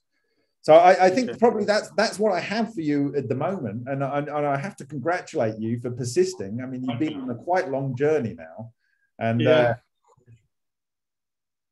where, where do you want to take it? You said you, you mentioned that you, you have some things in your paper that you've produced. Uh, yeah, basically, uh, you know, I've outlined in that report uh, the things I do, I need to do next in order to be able to submit a paper to a peer review journal. And, uh, you know, a control experiment with light water is uh, among them, you know, capturing X-ray and gamma spectrum too. And of course, I want to do a clean repetition where, you know, I put fresh oil, you know, fresh deuterium and can get the same result. And I think then uh, I can send a report and say, hey, and if I cavitate, I get neutrons. I don't know what it means, but it's something for me to study. At least, you know, here's the fact. And over the over this year, I intend to drill down to the bottom of this and figure out the physics of the process. That would be my, you know, lofty expectation to where I could write, you know, the next paper and say, well, this is the experiment that you know already reported on, and this is, I think, the physics, and, and this is why, and present some experimental evidence that would either confirm that these are fusion neutrons, that I see tritium, and if I measure neutron spectrum, you know, I see the energies that match the deuterium-deuterium fusion, or if this is a spallation or something else, you know, present evidence, you know, to that end. Okay, well, um, and, and uh, so uh, obviously keep your distance from it. I'm, I'm very serious because you are observing neutrons, but that it, it, are they real neutrons? I, I think they are, but I need to grab a power cord. My uh, okay, going to die. Just I, I'm, I'm just going to check my phone's still going to be able to broadcast.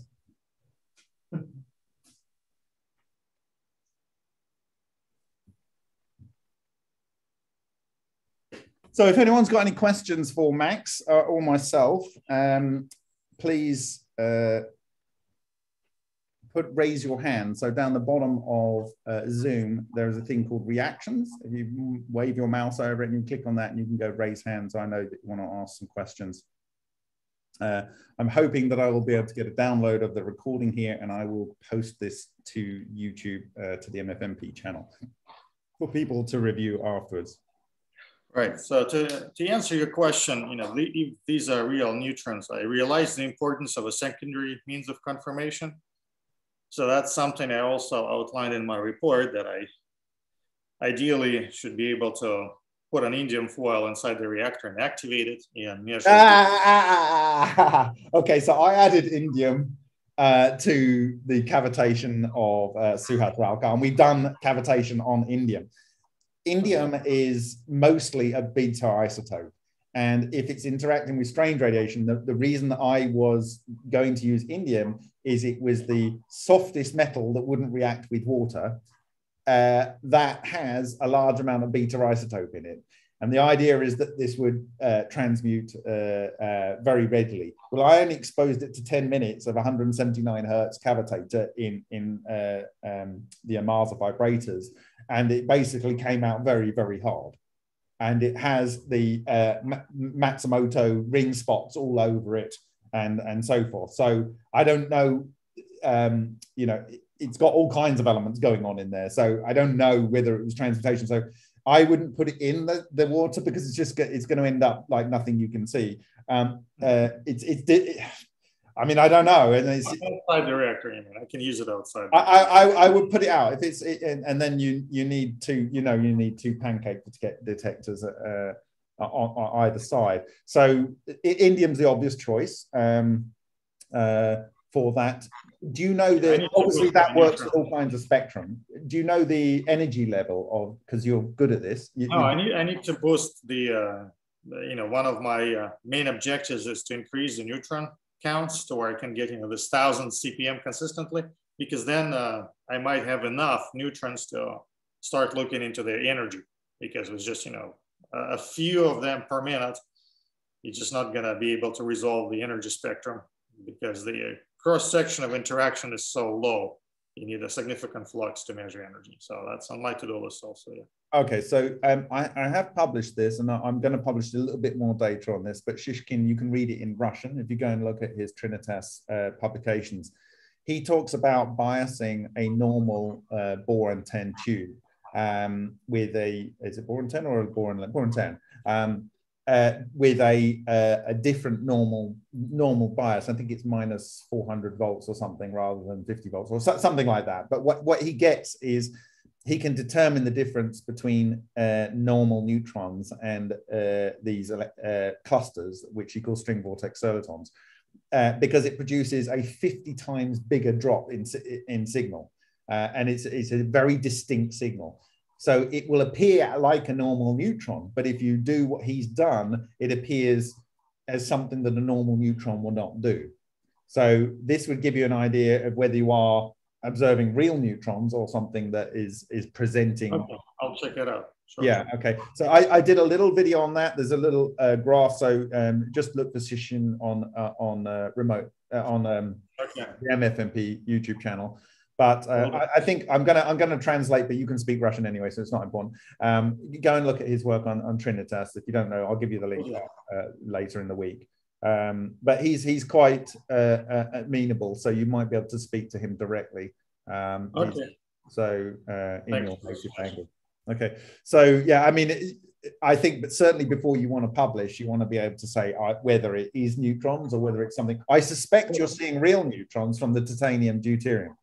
I think that is, I think that's this knock-on reaction to 50 chromium. Uh, I don't think you're ever going to be able to detect a, a, a detectable amount of chromium in there because it's just not going to be enough reactions. You'd have to run it for a very, very long time to right, right, detect right. enough chromiums. But you, you could look at the energy of that neutron that comes out, maybe, with the titanium and see if you are seeing that energy of neutron when you have titanium in there. So that might be a very specific thing that you can look for.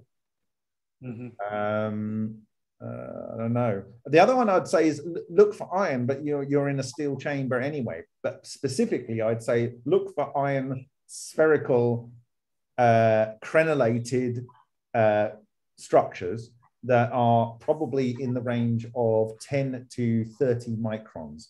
And they will, they'll literally look like a brain and uh, they will be iron and oxygen. Mm -hmm.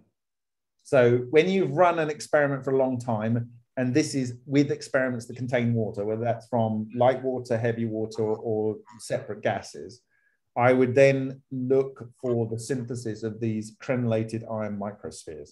And you could probably do that easiest by running a, a neodymium magnet that's in a balloon so that you know it, it doesn't go straight onto the magnet because you can't get them off.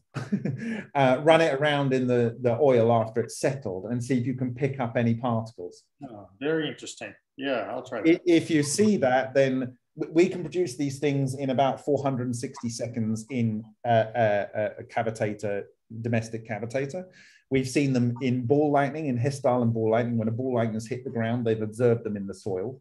Uh, we've observed them uh, in uh, the ultrasonic uh, air containing, i.e., therefore it has water and oxygen, uh, um, NOVA experiments, uh, like, like ball lightning inside a, a, microwave reactor.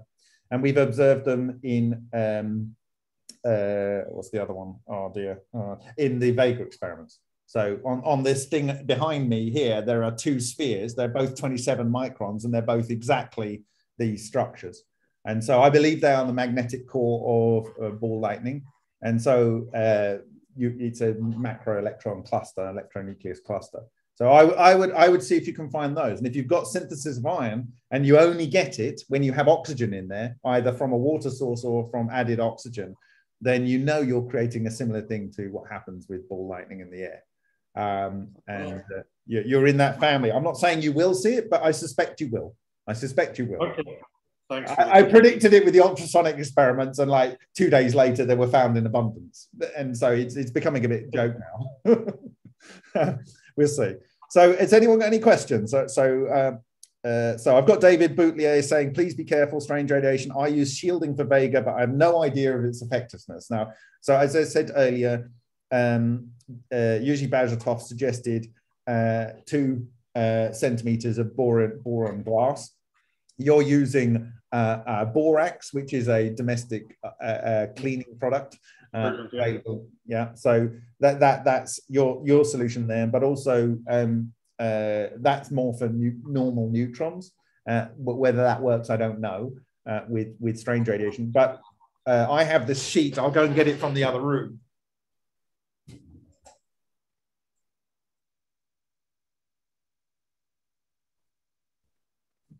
So I have this sheet here, and this is a one by one meter sheet of uh, polystyrene. And then I have alternate layers, seven on both sides, of aluminium foil and cellophane.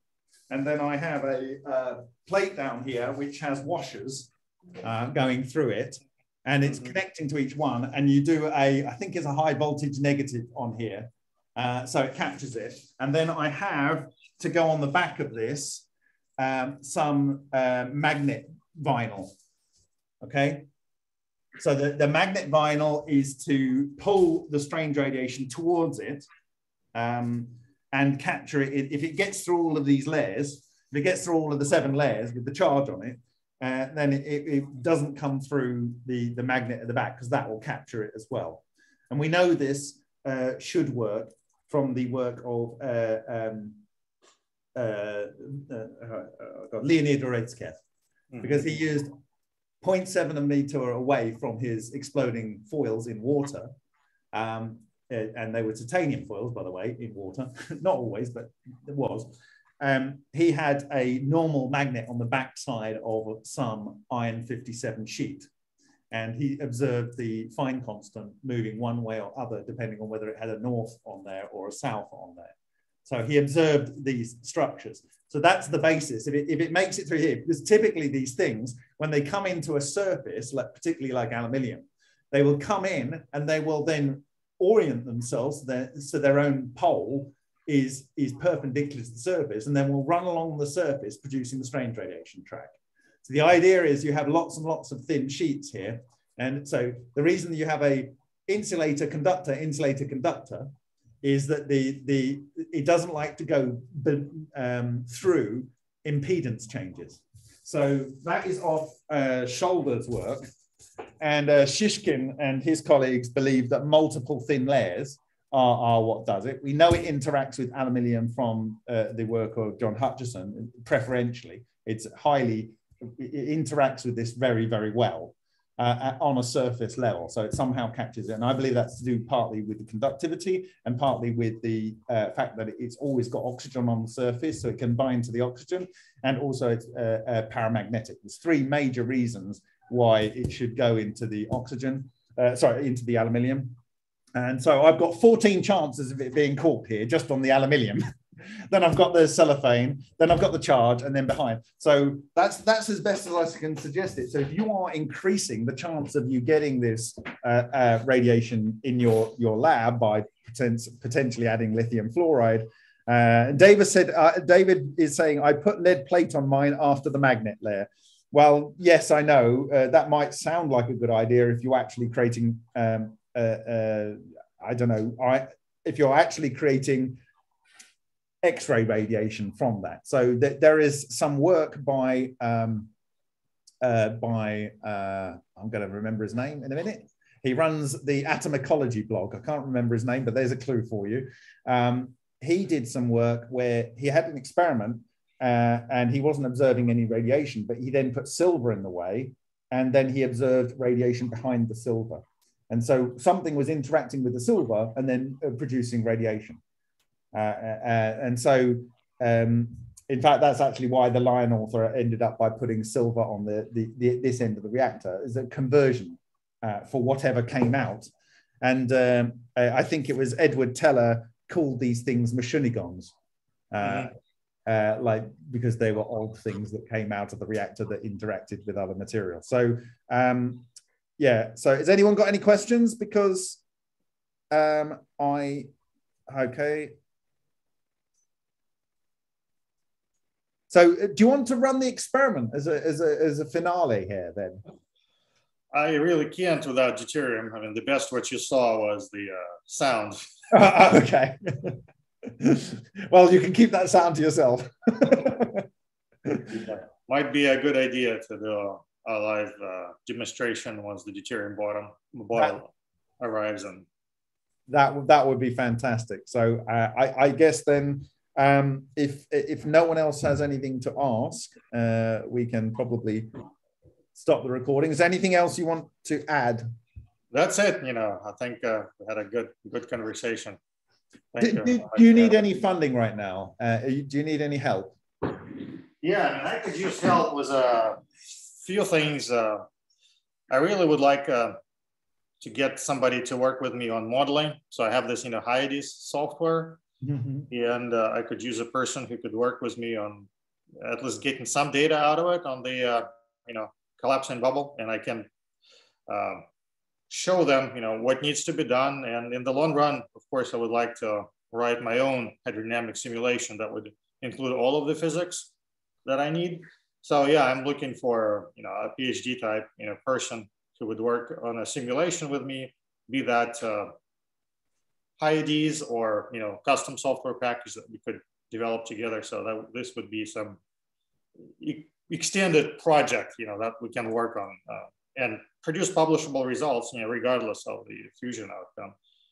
And uh, you know, I could use a software developer. It's kind of, you know, I, I, taught software engineering, you know, for many years, but as I grow older, it, it becomes harder and harder for me to develop software myself. Just taking extraordinary amount of time. So I could use a C++ software developer, you know, that I could use, you know, on and off to help me improve. You're, you're, you're more after you're more after actual uh, intellectual help rather than than financial assistance.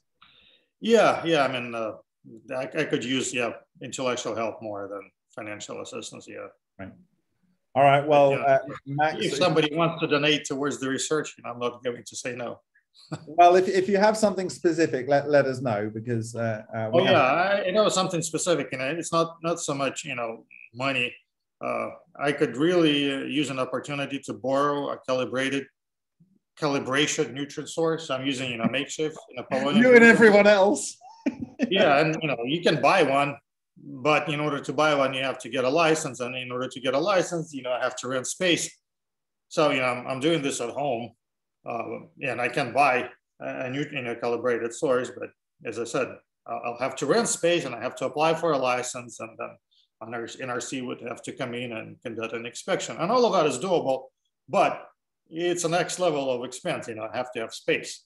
Yeah. So, but it would be useful to, to have a calibration source, like for a couple of days, just I'll put it inside the reactor and see what kind of flux I'm going to get. So I could relate, you know, the counts that I, that I get on my detectors to to the actual, you know, neutron flux. Well, I think before you need to do that, you do need to determine whether they're real neutrons. Right, right. But so, you know, these are the things that that come to mind straight away. Um, I, I, it's it's not just uh, Ed Storms that's observed this. Uh, I, I think uh, Stanislav Szpak and also I think Preparata. I don't know. Many people observed these 120 kilo electron volt sort of signals coming out, and they thought that maybe so how can they get out of the reactor because they're higher than any K shell electrons. Uh, uh, would produce the X-rays would produce from that. Uh, um, and there's a there's an interview by uh, um, uh, of Martin Fleischmann with uh, Christopher B. Tinsley in 1996, talking about this problem that they've observed is weird energetic radiation coming out and somehow it's coming through the reactor. So it, it, kind of is it neutral? Is it coherent? And he actually martin Fleischmann says is this coherent x-rays?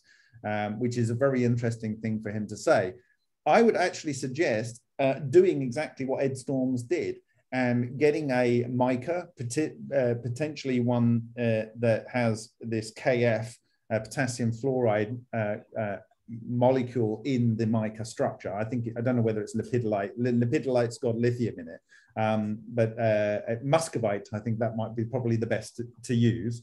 Um, and, and, a lot of a lot of the the, the Geiger they have a muscovite window. Um, hmm. or you can add that on, of course, and then see if you see this decay that was observed by um, uh, um, by uh, Edmund Storms. If you do, then it's not normal neutron. Okay. Something else. So you've got two, two, two ways to potentially go there.